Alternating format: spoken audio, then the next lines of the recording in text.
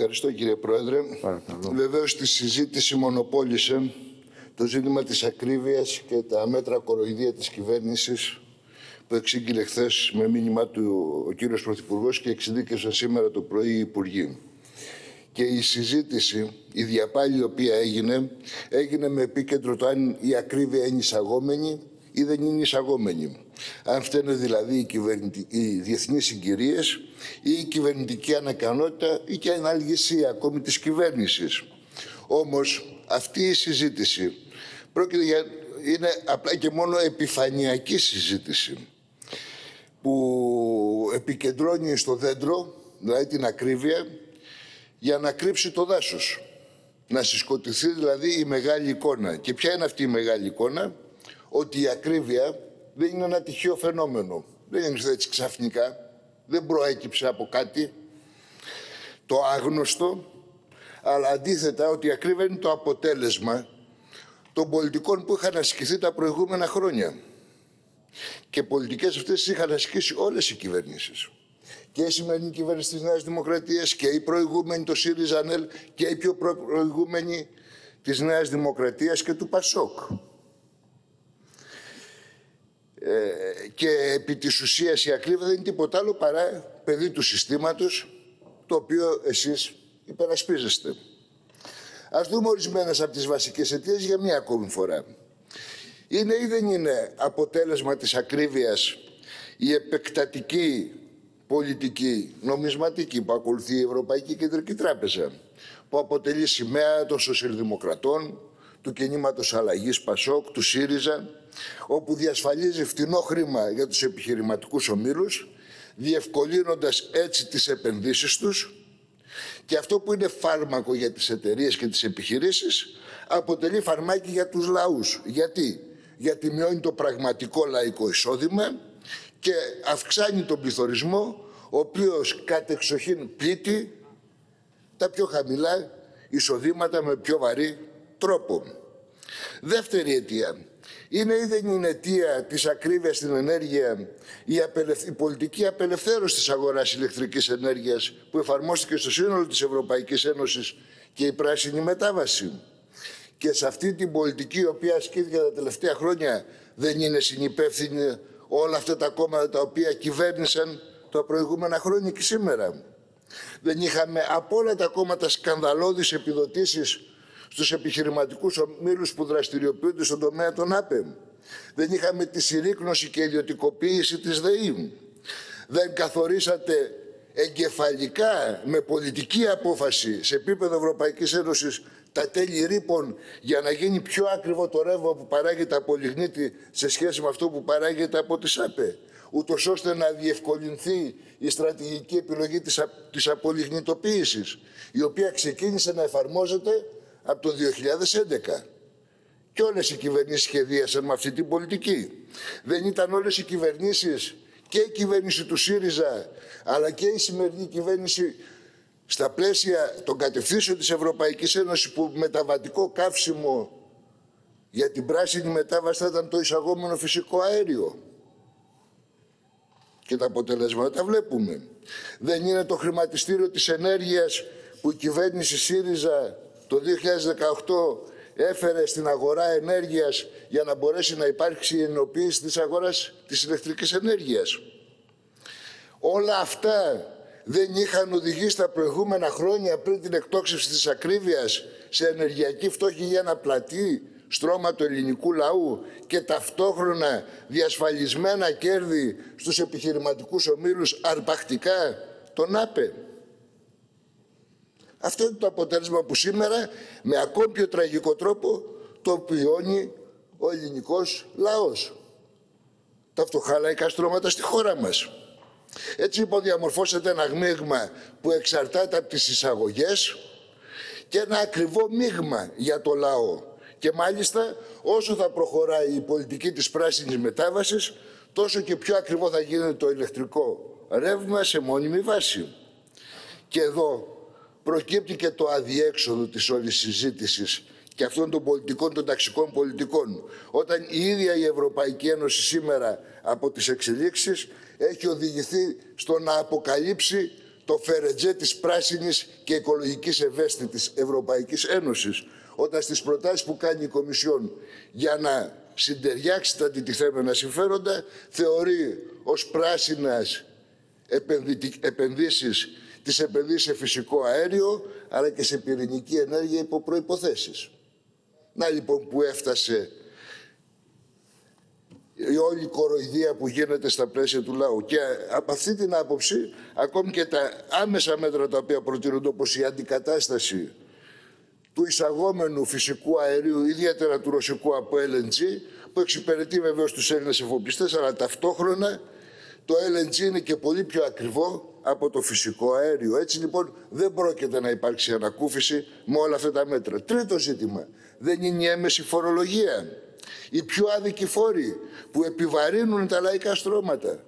Και σε αυτούς τους έμεσους φόρους έχουν δώσει εξετάσεις όλα τα κόμματα που κυβέρνησαν επιβάλλοντας ή αυξάνοντας τους συντελεστές της έμεσης φορολογίας, διαμορφώνοντας δηλαδή συνθήκες φορολιστίας για τα λαϊκά εισοδήματα. Και βεβαίως ένας ακόμη παράγοντας, ιδιαίτερα σημαντικός, είναι η όξυση των ανταγωνισμών ανάμεσα στα υπεριαλιστικά κέντρα για τη δημιουργία ζωνών επιρροής, για την αλλαγή των συνόρων, για το μοίρασμα και το ξαναμοίρασμα των αγορών, για τον έλεγχο των ενεργειακών πηγών και των διαδρομών μεταφοράς. Και αυτή η αιτία ήταν καθοριστική στην αύξηση των τιμών που είχαμε παρατηρήσει πριν την υπεριαλιστική επέμβαση της Ρωσίας στην Ουκρανία.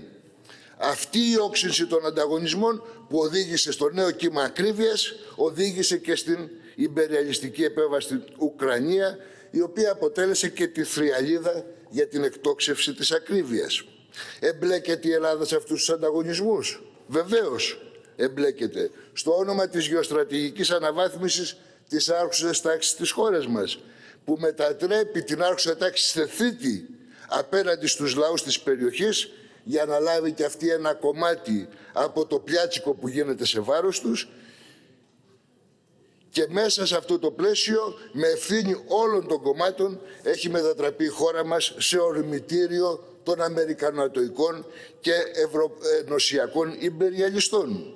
Και θύμα αυτών των επιλογών είναι ο ελληνικός λαός που πληρώνει πανάκριβα το νέο κυνήγι των εξοπλισμών που εντάσσονται σε αυτούς τους σχεδιασμούς τους υπεριαλιστικούς, αλλά και το νέο κύμα ακρίβειας. Έτσι λοιπόν, ο πόλεμος δεν είναι τίποτα άλλο παρά η συνέχιση της ίδιας πολιτικής με άλλα μέσα, πιο βίαια. Και την περίοδο της υπεριαλιστικής ειρήνης με τον πιστόλι στον κρόταφο για το λαό τη βίωσε πολύ καθαρά και με τραγικές συνέπειες. Ήταν δηλαδή η επίθεση απέναντι στην εργατική τάξη συνολικά, στα εργασιακά της και ασφαλιστικά της δικαιώματα, για, την ανα... για τη διαμόρφωση μηχανισμών αναπαραγωγής μιας φτηνής και αναλώσιμης εργατικής δύναμης, και σε αυτή την κατεύθυνση όλες οι κυβερνήσεις και με τους μνημονιακούς αλλά και όχι μόνο νόμους βάλαν το χέρι τους. Είναι ανατροπές στο ασφαλιστικό σύστημα με μέσο όρο σύνταξη τα 600 ευρώ για τους συνταξιούχους και την τεράστια ληστεία την οποία κάνανε στους συνταξιούχους. Είναι η επίθεση η οποία δέχονται καθημερινά στα δικαιώματά τους και στη διαβίωσή τους οι επαγγελματοβιοτέχνες και οι έμποροι που μαζί με τον καπιταλιστικό ανταγωνισμό τους πρόχνει ουσιαστικά στο περιθώριο της οικονομικής δραστηριότητας. Είναι η επίθεση στους βιοπαλαιστές αγρότες, οι οποίοι συνθλίβονται από τις μιλόπετρες, αφενός μεν των προμηθευτών που εκτινάσουν το κόστος παραγωγής και από την άλλη μεριά στους μεταποιητές που τους αγοράζουν τη σοδιά όλο και πιο φτηνά, τζάμπα σχεδόν, για να μπορέσουν να διασφαλίσουν τη κερδοφορία τους. Είναι η εμπορευματοποίηση της υγείας και της παιδείας, πάνω στην οποία εξασκήθηκαν και υπερέτησαν όλες οι κυβερνήσεις. Και από αυτή την άποψη, κύριοι Υπουργοί, τα μέτρα τα οποία εξαγγείλθηκαν το πρωί είναι κοροϊδία. Και είναι κοροϊδία γιατί δεν αντιμετωπίζουν τις αιτίες της ακρίβειας όπως επίσης και οι προτάσεις των άλλων κομμάτων δεν αντιμετωπίζουν αυτές τις αιτίες, αλλά μιλάνε για μέτρα προσωρινής ανακούφισης του λαού, που επί της ουσίας δεν είναι τίποτα άλλο παρά μέτρα αναδιανομής της φτώχειας. Δηλαδή οι λιγότερο φτωχοί να πληρώσουν για τους εξαθλειωμένους Και μάλιστα θέλετε οι εξαστηριωμένοι να σας πούνε και ευχαριστώ για αυτά τα ψίχουλα ελεημοσύνη τα οποία τους δίνετε τη στιγμή που με τις πολιτικές σας τους έχετε καταδικάσει στη φτώχεια και στην εξαθλίωση και την ίδια στιγμή να παραμένουν στο απειρόβλητο η μεγάλη κερδοφορία των επιχειρηματικών ομίλων. Και τι ακούμε, και δεν το ακούμε μόνο από την κυβέρνηση την ελληνική.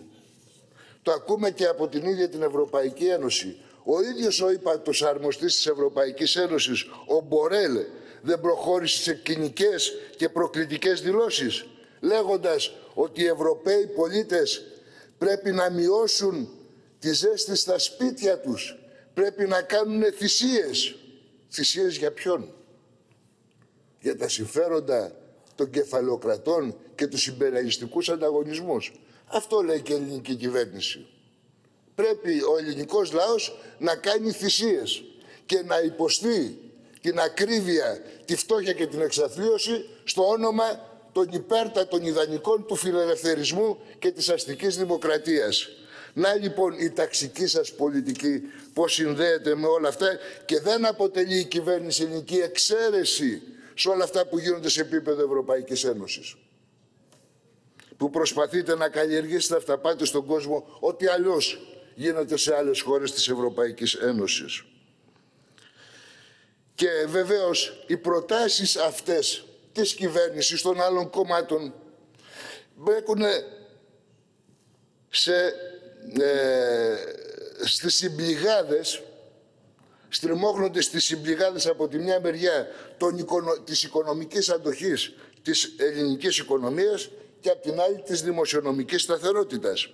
Η οικονομική αντοχή χρησιμοποιείται από την κυβέρνηση ως προκρούστια κλίνη όταν πρόκειται για μέτρα τα οποία σκοπεύουν στην ανακούφιση και στην ικανοποίηση των λαϊκών αναγκών. Αντίθετα, δεν υπάρχει οικονομικές αντοχές, εκεί ξεφεύγουμε από τα όρια όταν πρόκειται να ικανοποιηθούν τα συμφέροντα των επιχειρηματικών ομίλων. Δεν υπάρχει αντοχή της ελληνικής οικονομίας όταν πρόκειται για τα τεράστια εξοπλιστικά προγράμματα που από κοινού ψήφισε η Νέα Δημοκρατία, ο ΣΥΡΙΖΑ, το κίνημα αλλαγής και ελληνική λύση. Δεν υπάρχει ζήτημα αντοχής της οικονομίας όταν πρόκειται τα τεράστια πακέτα του Ταμείου Ανάκαμψης και ανθεκτικότητας της Ευρωπαϊκής Ένωσης που θα κατευθυνθούν για να στηρίξουν τις ανάγκες των επιχειρηματικών ομήλων συνοδευόμενα από το Πανευρωπαϊκό Μνημόνιο, τα προαπαιτούμενα δηλαδή σε βάρος των εργαζόμενων και του λαού. Αλλά η συζήτηση και η διαφωνία την οποία κάνετε είναι σε ποιους επιχειρηματικούς ομίλους θα δοθεί το μεγαλύτερο ή όχι κομμάτι αυτών των χρημάτων του Ταμείου Ανάκαμψης. Η ίδια συζήτηση γίνεται και τώρα για το συγκεκριμένο νομοσχέδιο στο πώς θα προχωρήσει το ΕΣΠΑ που επί της ουσίας συμφωνείτε με την κατεύθυνση που δίνει η Ευρωπαϊκή Ένωση, συμφωνείτε με την κατανομή των πόρων που χρηματοδοτούν και εξυπηρετούν τις ανάγκες των επιχειρηματικών ομήλων και των συνολικότερων ανατροπών που επιφέρει το ΕΣΠΑ και το μόνο σας πρόβλημα είναι το πώς θα διαχειριστούν αυτοί οι πόροι. Αν θα διαχειριστούν δηλαδή με λιγότερο ή με περισσότερο διαφάνεια. Αυτή είναι η πρόταση την οποία έκανε ο, Τσι, ο κύριος Τσίπρας στον πρόεδρο της Βουλής για τη δημιουργία επιτροπής που θα ελέγχει την πορεία υλοποίησης των έργων που χρηματοδοτούνται από το Ταμείο Ανάκαμψης και το ΕΣΠΑ 21-27. Δηλαδή το πρόβλημά σας και η διαχωριστική σας γραμμή είναι ποιοι όμιλοι θα εξυπηρετηθούν και πώς θα δοθούν αυτά τα χρήματα. Αν θα δοθούν υποκαθεστώς λιγότερης ή περισσότερης διαφάνειας. Να λοιπόν τι σας διαχωρίζει κυβέρνηση και αντιπολίτευση. Και όχι το γεγονός ότι τα χρήματα αυτά θα δοθούν για να εξυπηρετηθούν τα συμφέροντα των επιχειρηματικών ομίλων. Και όχι το ποιος κερδίζει οι κεφαλαιοκράτες και ποιος χάνει, ο λαός και η εργατική τάξη που θα κληθούν να πληρώσουν όλα αυτά τα κονδύλια και τα πακέτα μέσα από την αύξηση της φορολογίας και την αύξηση του κρατικού χρέους για να διαμορφωθούν τι προϋποθέσεις μιας ανάπτυξης άδικης, Μιας ανάπτυξης η οποία θα διευρύνει ακόμη περισσότερο τις κοινωνικές ανισότητες, αλλά και την ψαλίδα ανάμεσα στις δυνατότητες ικανοποίησης των λαϊκών αναγκών και στο επίπεδο ικανοποίησής τους. Και επί της ουσίας έχουμε δει όλα τα, τις προηγούμενες δεκαετίες που πήγανε τα χρήματα των διαφόρων ευρωπαϊκών προγραμμάτων και ταμείων. Ποιους εξυπηρέτησαν, ποιους ικανοποίησαν και την εικόνα τη βλέπουμε στις σημερινές συνθήκες οι οποίες διαβιούν τα πλατιά λαϊκά στρώματα. Και η δεύτερη προκρούστια κλίνη είναι η δημοσιονομική σταθερότητα.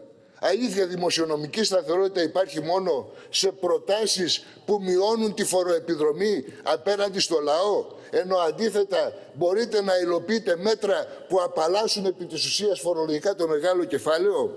Δεν υπάρχει το ζήτημα της δημοσιονομικής σταθερότητας όταν μειώσατε και η προηγούμενη και η σημερινή κυβέρνηση τους φορολογικούς συντελεστές για τα νομικά πρόσωπα. Όταν μειώσατε και η σημερινή και η προηγούμενη κυβέρνηση το φόρο στα διανεμόμενα κέρδη.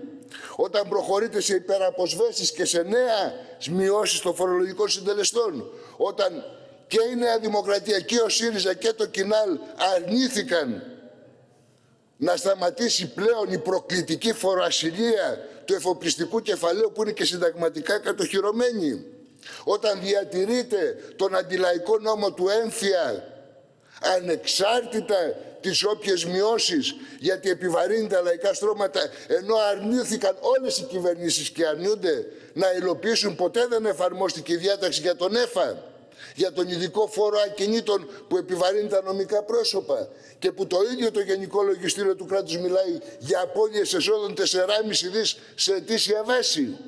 Και τολμάτε να λέτε ότι δεν μπορούν να μειωθούν οι έμεση φόροι, δεν μπορούν να καταργηθούν οι έμεση φόροι γιατί αυτό θα πλήξει τη δημοσιονομική σταθερότητα. Ότι εξυπηρετεί το λαό είναι σε βάρος της δημοσιονομικής σταθερότητας και ότι υπηρετεί το μεγάλο κεφάλαιο είναι υπέρ της δημοσιονομικής. Ωραία μαθηματικά είναι αυτά. Και βεβαίως, ολοκληρώνω κύριε Πρόεδρε, και βεβαίως δεν ευθύνονται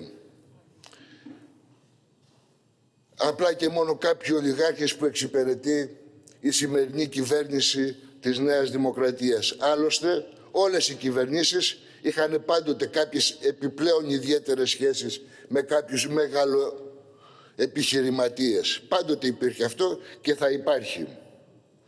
Αλλά μέσα από αυτή τη λογική ότι ευθύνονται κάποιες ολιγάκες που εξυπηρετεί η σημερινή κυβέρνηση, τι θέλετε να κάνετε. Θέλετε να αθώσετε το καπιταλιστικό σύστημα για να εγκλωβιστεί λαϊκή δυσαρέσκεια εντός των τυχών, για να εμποδιστεί η ριζοσπαστικοποίηση ευρύτερων λαϊκών στρωμάτων; Και δεν είναι τυχαίο ότι είναι κοινό χαρακτηριστικό όλων των άλλων κομμάτων που είναι εδώ στη Βουλή πλην του ΚΚΕ